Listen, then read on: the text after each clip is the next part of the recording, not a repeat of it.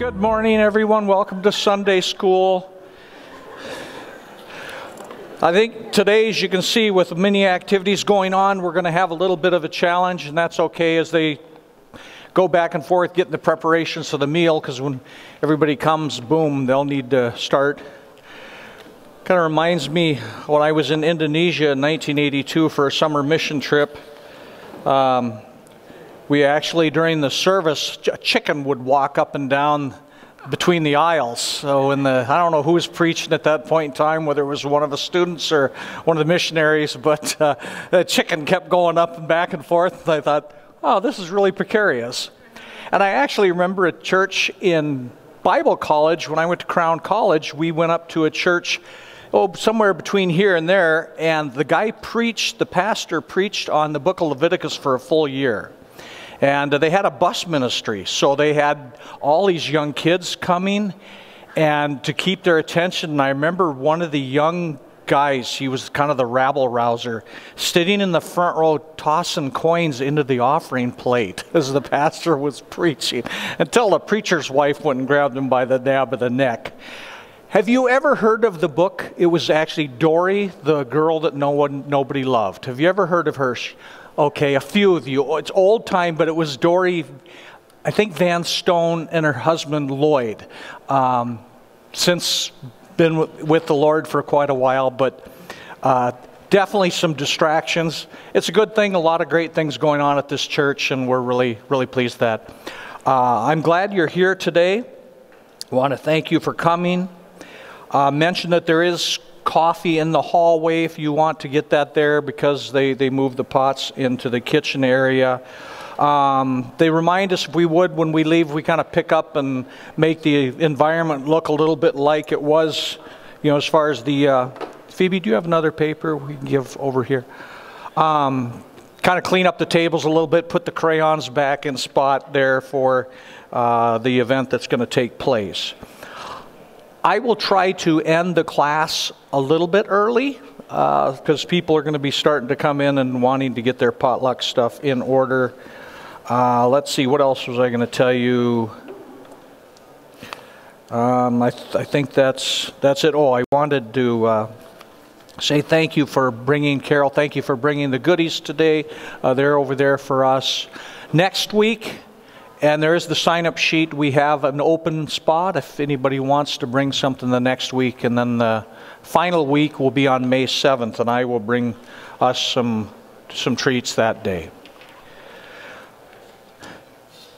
One of the things that I had really was intrigued about when I did the study on Psalms, and I taught that class probably a year ago here, was he started looking at the heavens declare the glory of God, the firmament, his power thereof. And I, I kind of took the telescope and looked out into the sky. And when I was studying for that, I was just amazed at how awesome God is. I mean, you just start realizing how huge the universe is and the world is, and that you know, we got our little dancing bear act here on this planet Earth thinking we're something else. And yet there's a God who created. Much of the world worships the creation, and, and we, so, we say, no, there's a creator who made this, and it's pretty exciting. And I'm going to finish the last three things that I've, I had read that book, I Do Not Have Enough Faith to Be an Atheist, um, by Norman Geisler and a gentleman by the name of Frank Turek, I believe it is. And he talked about um, anthropic constants. Okay, those of you who've been in this class have heard me say that the first couple classes, but there are things that need to be constantly working just right for mankind to live on this earth.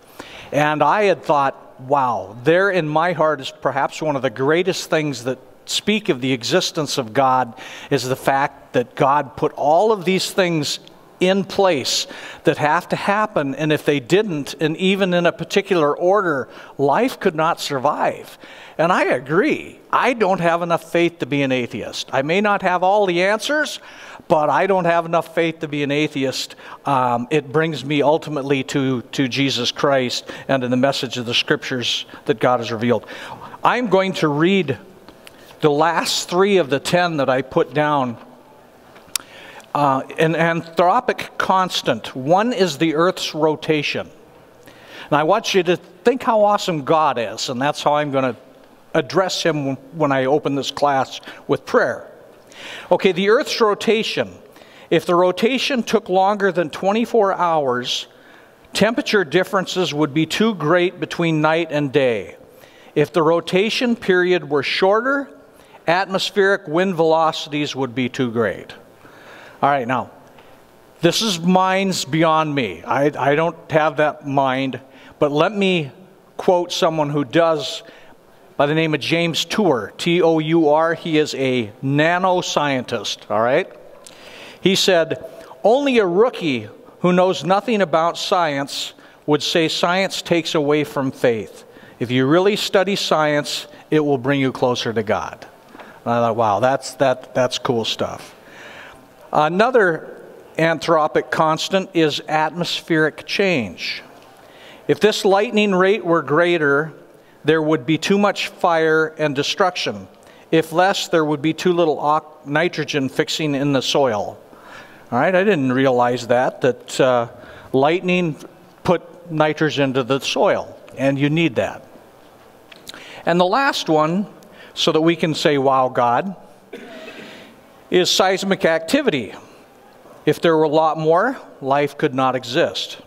If there were less, nutrients on the ocean floor and river runoff would not be cycled back to the continents through tectonic uplift.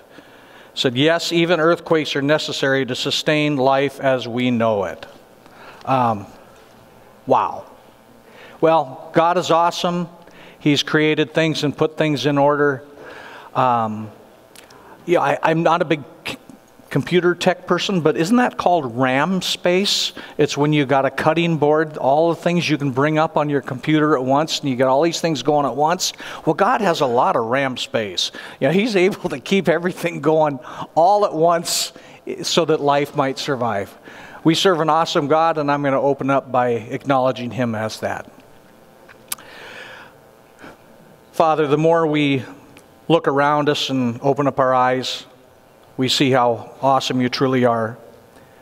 Your word tells us in the Psalms that uh, entry level to understand you is just to look out into the heavens and to recognize that we don't worship the sun, we don't worship the earth, we don't worship the rain, uh, but we worship someone, we go beyond that to the Creator who made the heavens and the earth.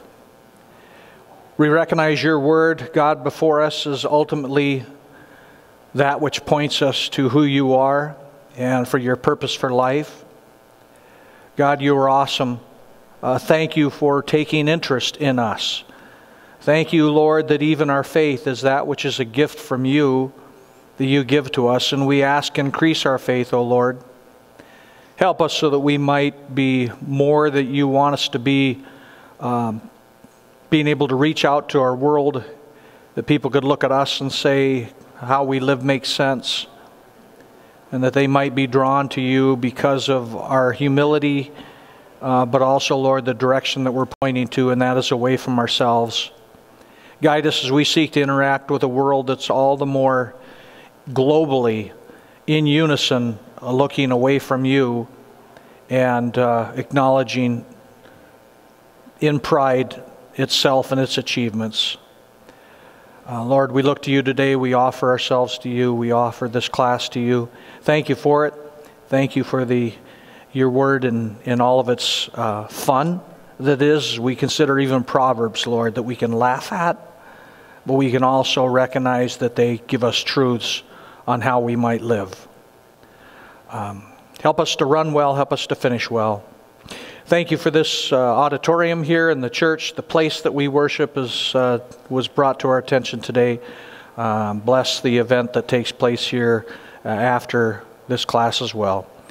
In Jesus' name, amen. Does everybody have a sheet? If not, Phoebe can pass one off to you.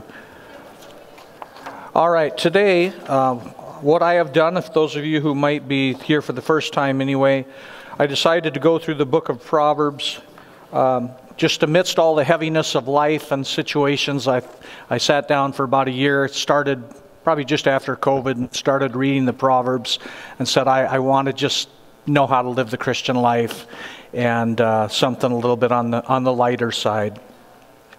Though Proverbs, they're night, they're to live it is tough, you know. So when I say things are on the lighter side of Proverbs, I'm not saying that it's easy life because uh, we all see ourselves in the Proverbs. That's kind of why it's exciting.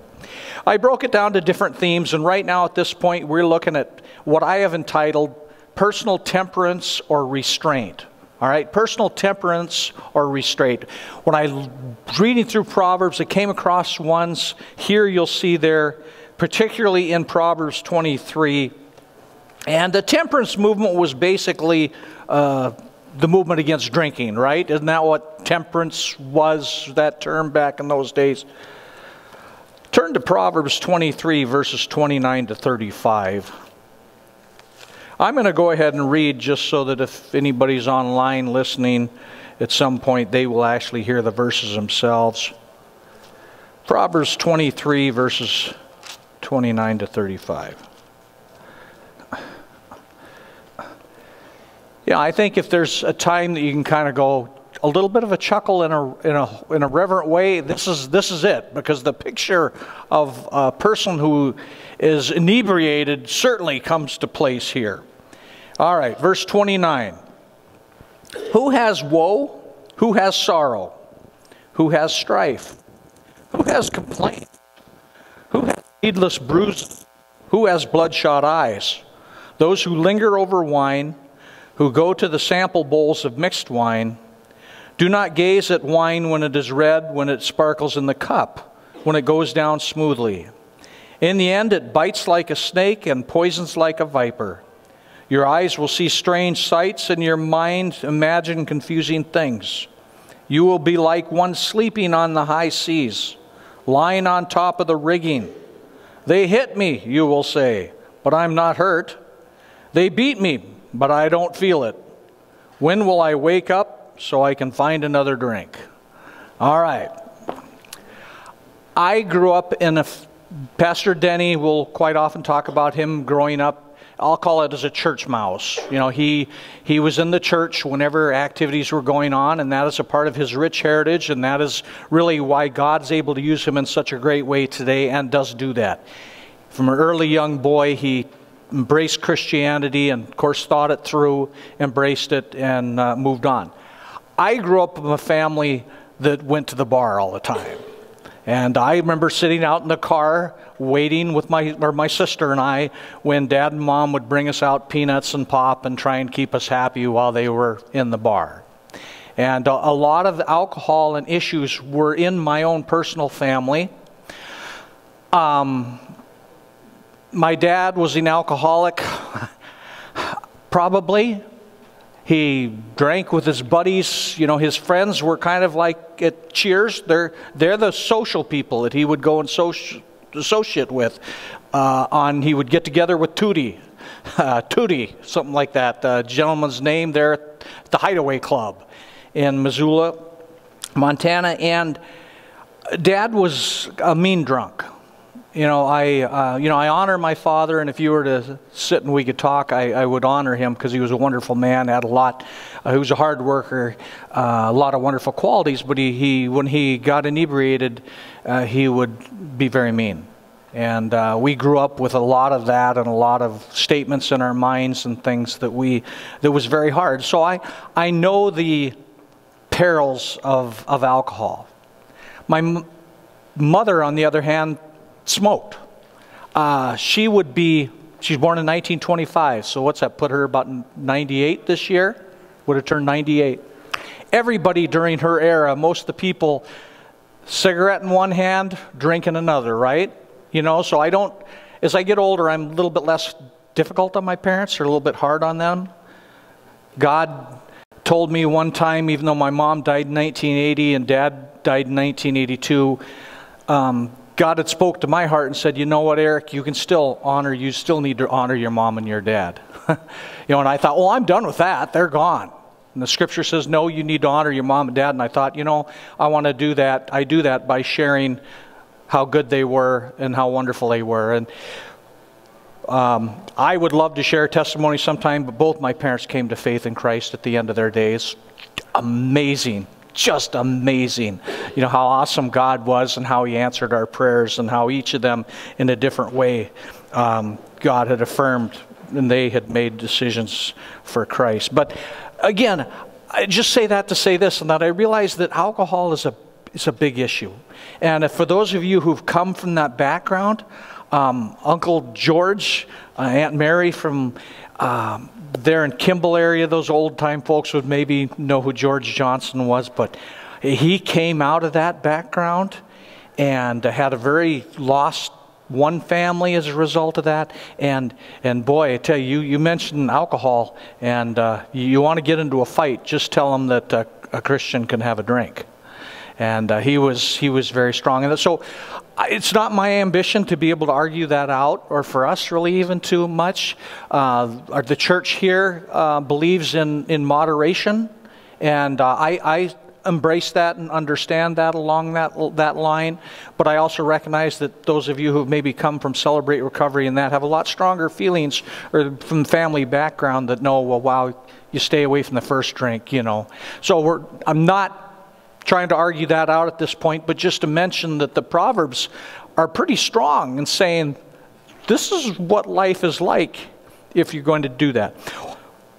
What are, what are some statements or words here that explain what the proverb is saying about alcohol? That you say, hey, that's true.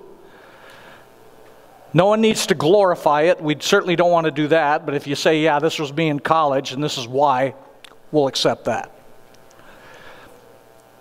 What are the things that you, yeah, Craig?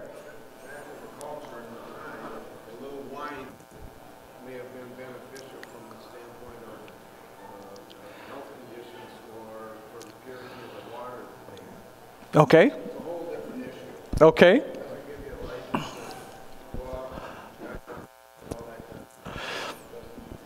Okay. Right. Okay, the Apostle Paul, you had made kind of quoted, and he had talked about, I think to Timothy, he said, you know, take a little bit of wine, it's good for your stomach. There's a medicinal purpose at that point. Uh, um, sometimes you go overseas and you don't know for sure the water's any good, uh, so you might even crack open a pop or crack, crack open a, uh, a drink. Uh, my, my second son went with torchbearers for I think it was six weeks. He was in a schooner with about 12 other, uh, that's what I call it, a boat, sailing boat with I think it was about 13 to 20 other people, guys, girls, and they went on some of the sites and spots that the Apostle Paul went on. And they pulled in some of those ports and lived in that boat, and for six weeks we're doing that. Well, you know, he went into those places and they drank beer. so it's kind of like, well, Okay. All right. Well, that's where, you know, love it or hate it. That's where he said, well, in Europe, that's what everybody drank. Okay. All right. What are, what are some of the, the effects here that's mentioned in, in this that you would affirm?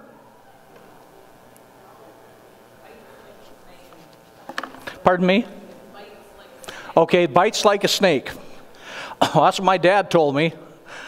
He's talked about, he said, I, I only drink beer. He was from German, Germany. He, he could put it away. And he said, Oh, Eric, oh, that, oh, that are hard stuff. You don't want to drink that. I remember drinking some of that one time. Friends put it on me, and I grabbed my keys, and I couldn't find the keyhole to the car. He said, You want to stay away from that stuff, that hard stuff. So, all right, it bites. How about the opening statement? Who has woes? All right, you ever listen to people talk about their woes as a result of that? Yeah. Oh, I was just mentioning um, 31 there. My um, one says, "Don't gaze at the wine, seeing how red it is, how it sparkles in the cup, how it smoothly goes down." To me, that um, speaks more of like a, a preoccupation with it, okay. rather than just a, an occasional. Okay. With dinner. Okay. Right. Right. Okay. She mentioned as far as the watching it. Uh, sweet and how smooth it goes down and that, that there's kind of a, a preoccupation of the person with the, with the drink. All right, I know for time wise I'll have to keep moving here really quick, but it certainly describes, you know, a person with woes. Um, sorrow comes as a result of that. Uh, strife, oftentimes, we certainly experience that in my own personal family. Uh, confusion there is made mention of that. Uh, you know, how often times people wake up the next day and they go, oh, what happened, you know, last night? Can you tell me? I just bruised, I got a bruise here or something. Yeah, well, you know, you got in a fight with those eight guys. Didn't you know that? and uh, those type things you don't remember. So, you know, Proverbs takes a real clear picture of some of the issues.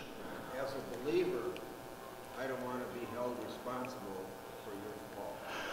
If you say, well, he's, I know he's a Christian, but he's, he still partakes, and I don't want you then to become, uh, you, you to stumble. Maybe I could handle that. Right.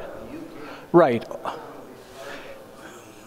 Yes, the weaker brother, you know, um, the person as a pastor and that I, I abstained from alcohol and one of the main reasons along that line even though we wouldn't want to have communion with real wine and i believe that the Welch's, if I'm not mistaken, Welch's was developed so that people wouldn't have to take the real alcohol at communion time along that line. But I, I had some brothers in Christ that I was uh, good friends with that were alcohol, you know, alcohol background. It came from that. And I said, the last thing I would want to do is for a, a weaker brother, as far as weaker being that was an issue he had, I, I wouldn't want them to stumble.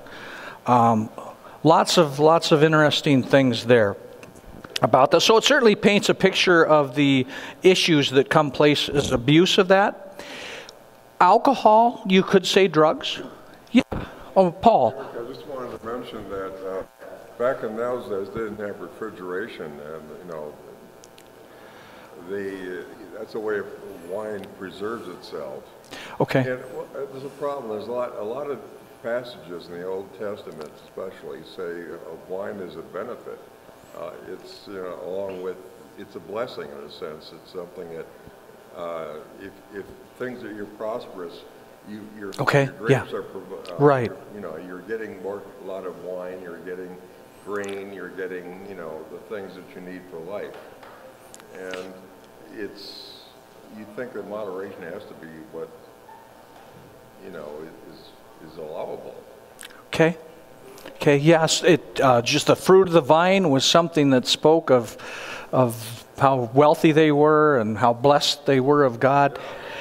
I, I mean, I think, uh, isn't kimchi the stuff that cabbage they bury down in a hole and doesn't that ferment and become, I don't know if it becomes alcoholic, but you give enough of those things and they, they do become, uh, become fermented because they don't have the refrigeration, as he was mentioning, that we do now and a lot of the stuff that's set out in, in room temperature.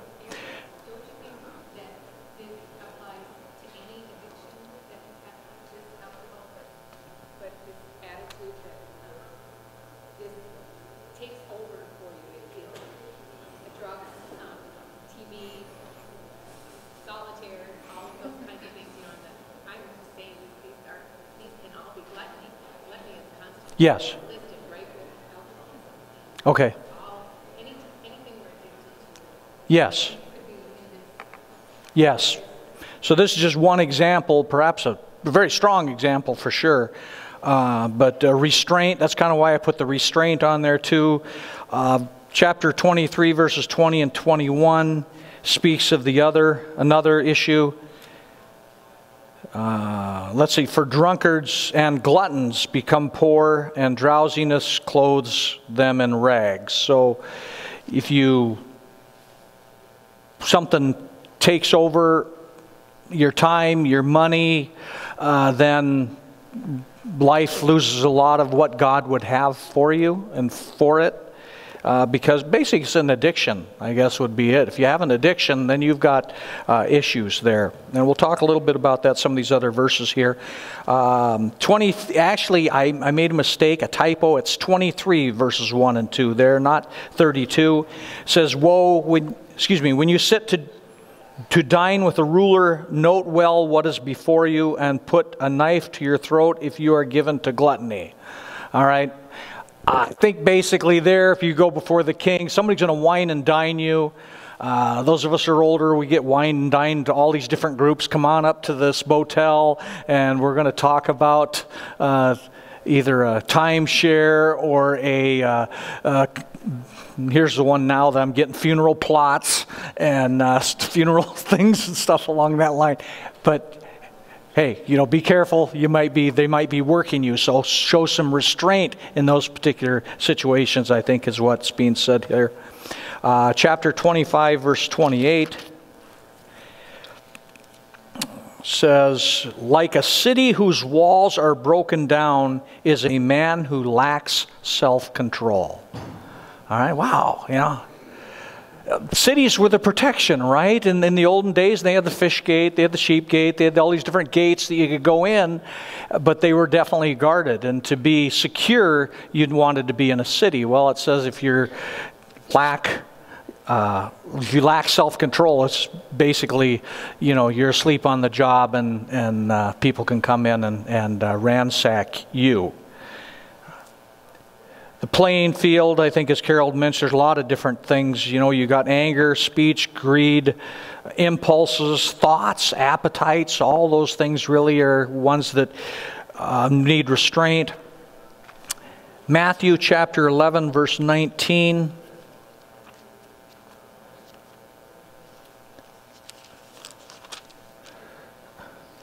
The Son of Man came eating and drinking, and they say he is here as a glutton and a drunkard, a friend of tax collectors and sinners. But wisdom is proved right by her actions. And of course, we know that the Lord himself would never have been found uh, drunk in any of these type of, type of things that are mentioned in Proverbs chapter 23.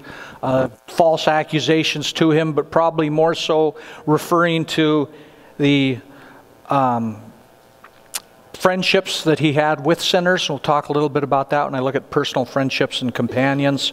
Uh, the Lord was companions with those people, and he was in places like that. Yeah.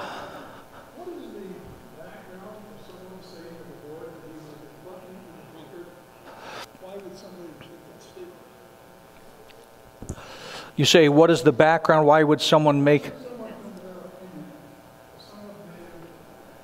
Oh.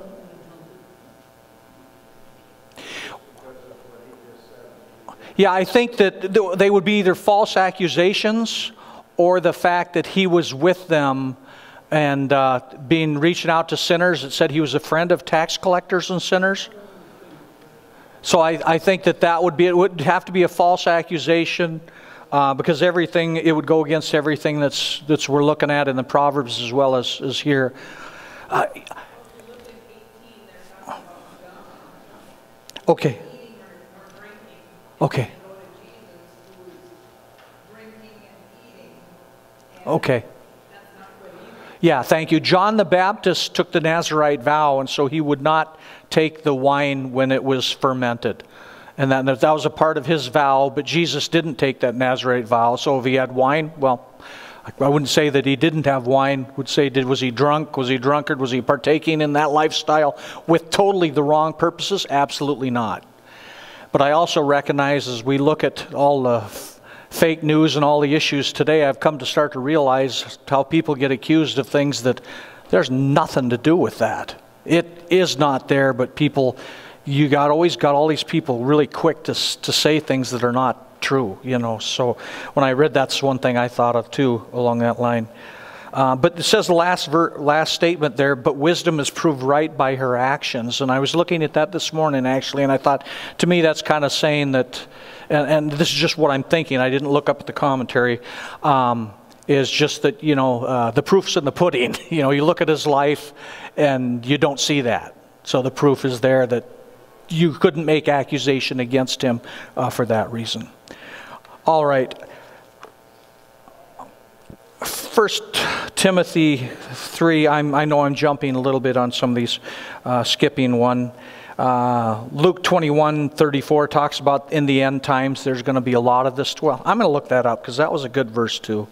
Uh, Luke 21 34 says, Be careful of your, or your hearts will be weighed down with dissipation drunkenness, and anxieties of life, and the day will close on you unexpectedly like a trap. And I'm just going to put this in the context of the end times. And I think, you know, there's a lot of depression going on now.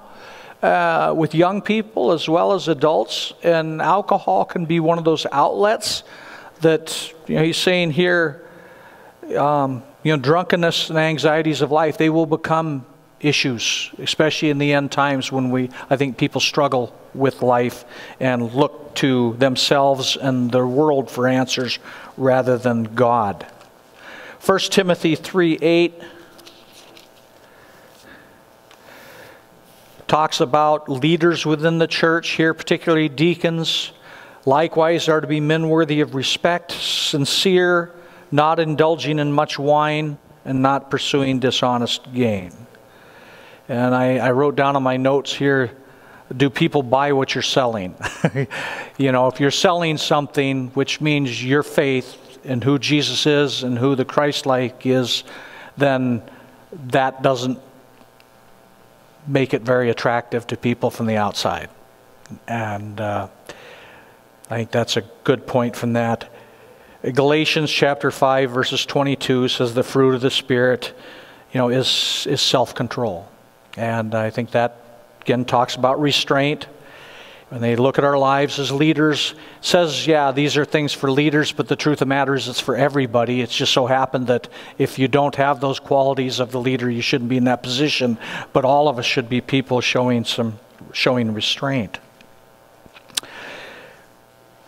I sometimes call this the tale of two gutters, and that is that sometimes you can take the things I'll take sexuality because that's a perfect example. If Satan can get you people convinced one gutter or the other, he's got you beat. And one is thinking that it's terrible, it's not right, it's not good, you know, and then you don't realize the greatness of God. As Denny was talking about in the church. I mean, he uses that as a picture of the marital intimacy, but that it is a beautiful thing. It's a God given thing. And, and so some people maybe would deny that. They go, oh, it's bad, you know. And the other hand is like our society is, and that's the gutter of anything goes. There's nothing sacred at all. And I think that sometimes Satan wants to work the gutters. He wants us to get to an extreme of one side or the other, and God is saying no restraint, but also understanding it as God would have it for your life in its positive way. So, uh, most people He's going to get to hit on the excess. On the other hand, you might get a few people on the other on the other gutter as well. Um, any comments, closing comments or thoughts again on that of restraint? Maybe there's some other area that you say, this is the playing field of that.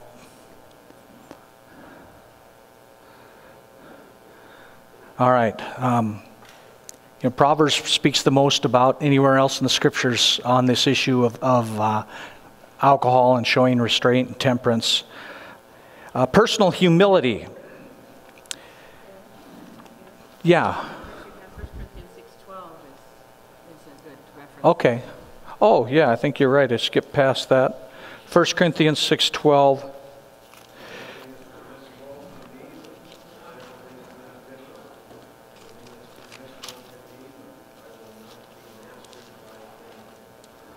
All right. Thank you. I'm glad you pointed that out again because that is one I'm looking at. It's Paul saying, you know, everything's permissible, you know, a lot of things are permissible, let's put it that way, you know, along that line, are good, but he said, I'm not going to let anything master me. And that, that is a great point as far as Christianity. When we come to faith in Christ, we say we give our heart to Him, right? We, we turn our lives over to Him. We, it's no longer I who live, but Christ who lives in me. You know, if any man's in Christ, he's a new creation. Old things have passed away, all things have become new. So we we embrace, we serve a new master, and we're no longer want to be controlled by anything. And uh, there it's kind of opened up just the fact that don't let something master you. If it's mastering you, then it's become your Lord. And those are the things that we're still in route. You know, we're still in route. We understand that. Uh, we have our moments, but we want God to take over for those. All right, thank you for pointing that out. Uh, personal humility, Proverbs 11:2.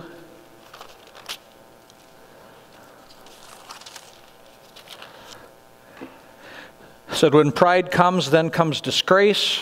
With humility comes wisdom.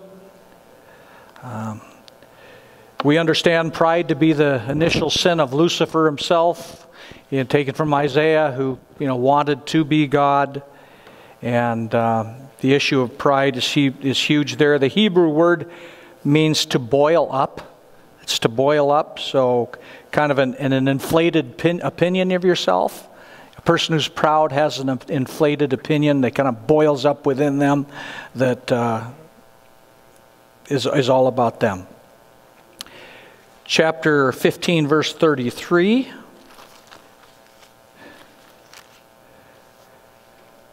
Says, The fear of the Lord teaches a man wisdom, and humility comes before honor. All right, uh, 1133, humility, humility comes before honor. Can you think of any other, any New Testament verses or anything that might, um, of course I got other verses coming down there, but do you remember a, uh, story or uh, was it a parable? Anyway, he was talking about uh, Jesus saying, "Don't go to the head table when you go into a place."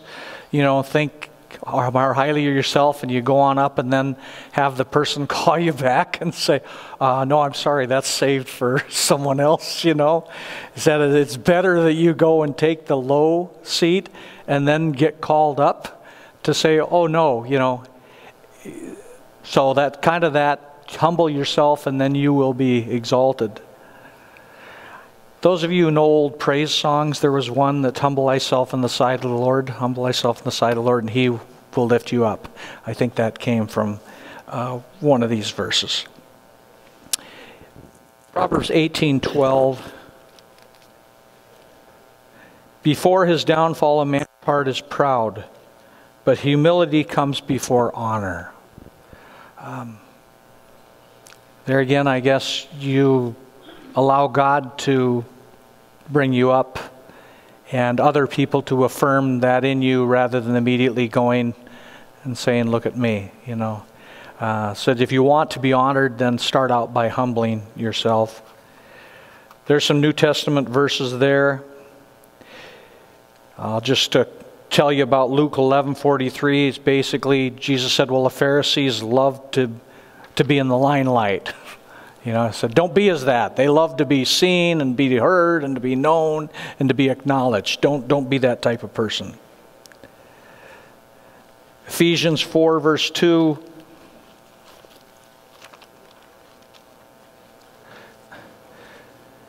A part of my goal when we got into Proverbs is I wanted to um, be able to affirm to us that it's a, they're totally biblical um, teachings. You know, they're, they're, they're seen in the New Testament as well, and other spots of the Bible. Some of them we might look and just acknowledge, but then uh, not realize that actually they're illustrated very well in the lives of Jesus and the lives of the disciples and the lives of the church. Uh, they're very pertinent issues that we're talking about here. Um, let's see, I said Ephesians 4 2. Be completely humble and gentle. Be patient, bearing with one another in love. All right, there's the term there to be humble. There's something becoming about humility, isn't it? Is humility the same as a low self esteem? no, what's the difference? So, where do they intersect? Low self esteem also thinks of itself? Okay. You know, it's kind of like that meekness. It's strength in check, right? Strength, meekness, they say it's not the same as being walked over. It's basically having strength and power, but it's kept in check. You know, that Jesus was meek in that way, and I think that's kind of explained, illustrated here a little bit as well in regards to um, to uh, true humility is not being down and out necessarily. Uh, James 4:10.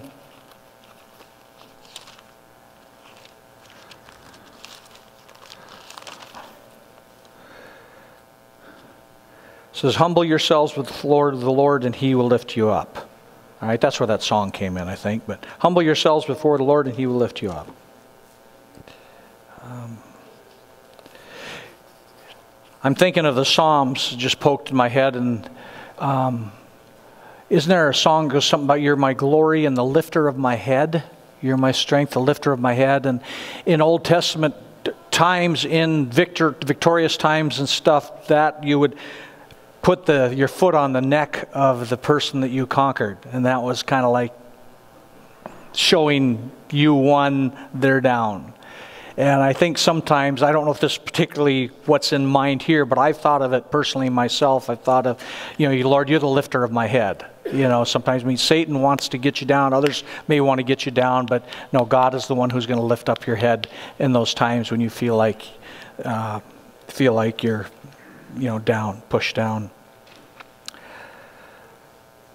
1 Peter 5 5.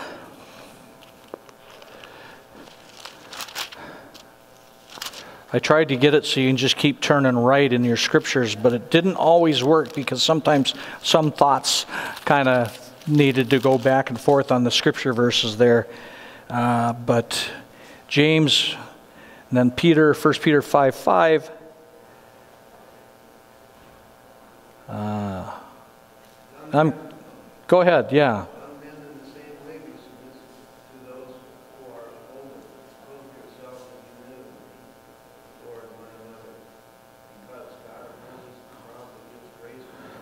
Okay. You're older, right? Yeah. so am I. yeah, yeah. Wyatt, I bet you're one of the youngest ones here. Thank you for being here. All the rest of us are older, so you know, we got a lot of wisdom here to share. Thanks. I'm so I'm really glad to have you here, uh, Wyatt. Really am.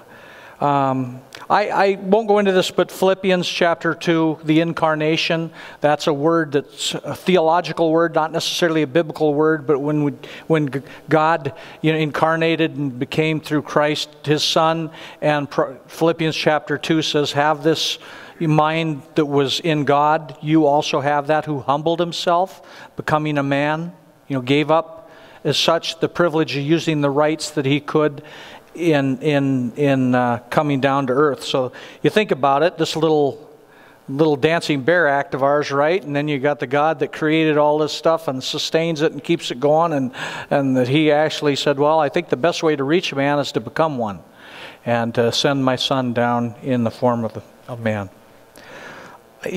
Personal humility. Any illustrations of that? Any thing from any of you here that said, Yeah, I humbled myself and God lifted me up in due time? Or, yeah.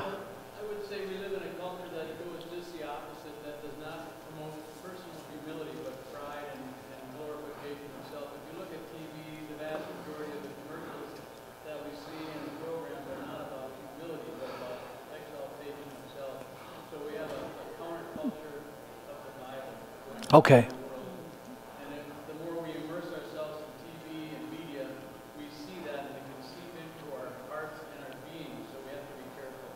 Okay. Okay, yes. Yes, yeah, yes. Do not look merely for your own personal interests, but also look out for others. And, and I believe that's in Romans, if I'm not mistaken. I remember one time doing a study on that, and it basically said, um, at least a verse that was parallel to that, if not that one, it was basically to prefer one another in honor was to outdo one another. And what really hit to me was I like to outdo people in pranks. And if you start pranking me, my brother in law and I, we would prank each other all the time. So I, I came home one time. God, stories are fun, right? Back in Missoula, Montana, came home. My brother in law didn't eat his food, he conquered it. Well, one time we were having burgers and he put all kinds of stuff on it, you know, and then he got a business call and he left the room. So I took one of those four-fold napkins, ripped it in half, stuffed it in his burger with all that stuff, put the lid back on it. By the time he'd come back, my sister had forgotten what I'd done, but he ate the whole thing. And I laughed and said, Well, you don't really need to wipe your mouth, do you? Because you probably took care of that when you ate your burger. And what? Well, you just ate half that napkin. really?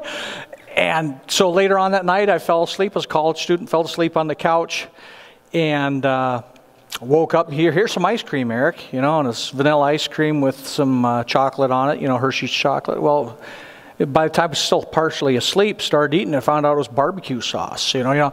And, and he said, "Okay, I'm going to outdo you." And that actually became a picture in my mind that kind of spoke to my heart at that time. And I thought, Eric, you need to be thinking like this prank stuff.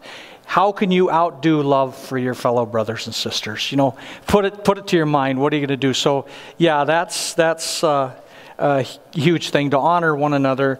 I think our society, you'll hear the term a lot with narcissism and stuff like that. The people are just so focused on themselves and they're very proud, and you'll you'll see that that is a huge issue right now in the. Uh, in uh, we'll call it the last days really let's i'm going to look at the last one quickly here um, i'm going to look and see what time it is oh two minutes okay uh, personal friends and companions. Um, I, I, think we'll look at this this next week. Is that, all, that okay? Rather than blast through this, there really is some good stuff in that. You know, different times as a, as a teacher, you kind of come in and you go some fears. One is, what if no one shows up? Thank you for coming. And then you go, what if a hundred show up? you know. The other is, what if someone asks a question that I can't answer, you know, that's always in the back of your mind. Paul, you'd maybe come up with some good ones, questions I may or may not. And the fourth one is, oh, I'm not going to have enough material. I haven't like that's ever happened. Uh, you know, get to realize how quickly time goes and uh, I need to keep things moving. So next week what we're going to do is we're going to look at personal friends and companions.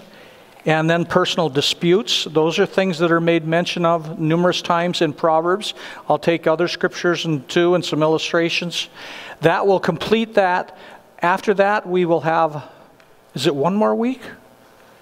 I think it's, yeah, May 7th. And that I'm going to take just some favorite ones because there are some really cool Proverbs that when you read them, you kind of go, oh, wow, that's funny. That's real. That's really to life. That's, that's true. And we'll look at a few of those. I, I could probably spend five, six sessions on those things.